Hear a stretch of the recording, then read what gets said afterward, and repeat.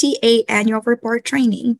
I am Lillian Lowry, and I am a new member of the SSBCI team. So I just wanted to say hello, uh, welcome you to this training, and introduce myself. You're going to be seeing my face and name uh, through communications with our programs. Um, we will be covering today, uh, next slide, please, uh, what the report is, when it is due, who needs to submit it, how to access, complete, and submit it, and we'll give you some resources and take your questions towards the end. To get it started, I would like to introduce Carmen Reed. Carmen? Thank you, Lillian, and good afternoon, everyone. Uh, my name is Carmen Reed, as Lillian said, and for those of you that don't, don't know me, and I will be providing a bit of background information today on the annual report, excuse me, before my colleagues Grace and Jay dive into the template and portal submission process. Um, I'll start briefly by reviewing what the annual report is and the basic information that it includes. TA grant recipients are required to submit an annual TA project progress and outcomes report with cumulative information on an annual basis, as it is outlined in the SSBCI TA grant program reporting guidance, which hopefully you have all read. As with the semi-annual reporting, information collected through this report will be submitted through the Treasury portal to meet these annual reporting requirements. This is the same portal that you have used for your application. And if you are submitting your, if you have submitted your um, uh, semi-annual report, it's the same report portal that you used for that.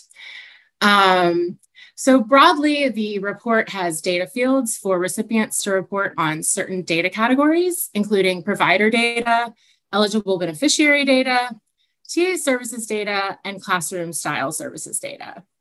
Grace will go over the specifics of what you will be reporting on each of these data categories when she reviews the template. You'll see that it closely monitors what was published in the reporting guidance, so it should reflect the data that you have been collecting already.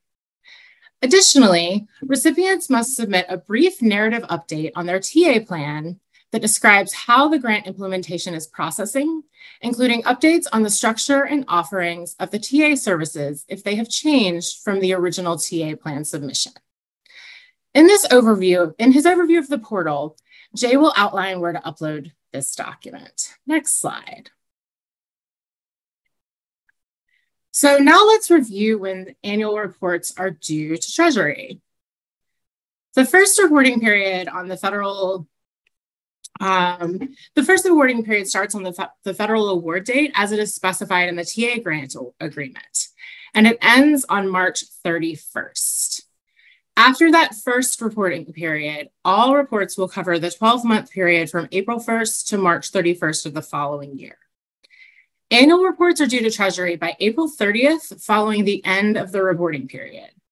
That is, they are due the same day as the semi-annual report, and you have 30 days following the end of the reporting period to complete and report the data for that period.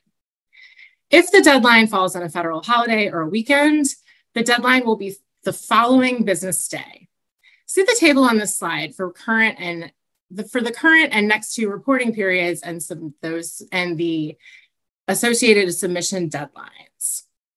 Again, the submission deadline for this reporting period is April 30th, 2024. Next slide. The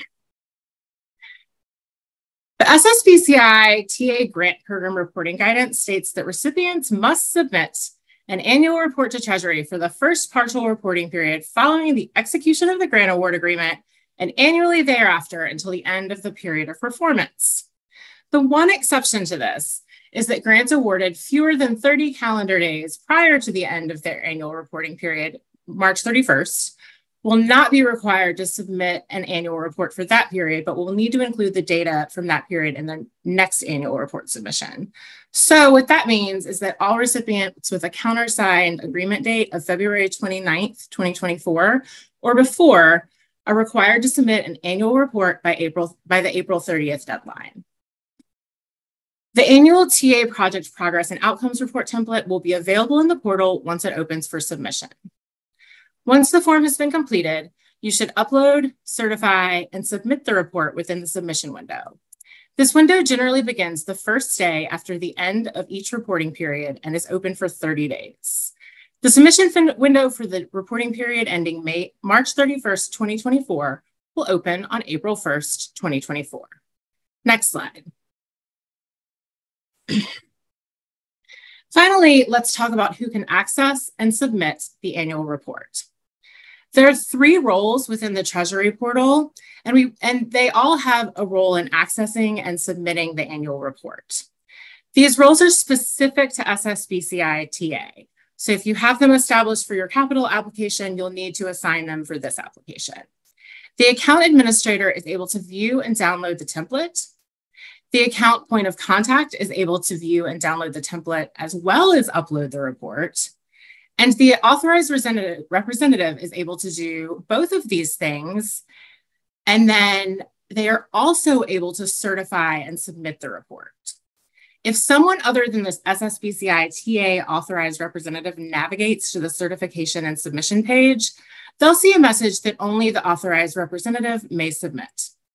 Please note that the authorized representative role, as it is listed on the slide, is a role within the SSBCI reporting portal and is not necessarily the same as the authorized official that you have listed on your application.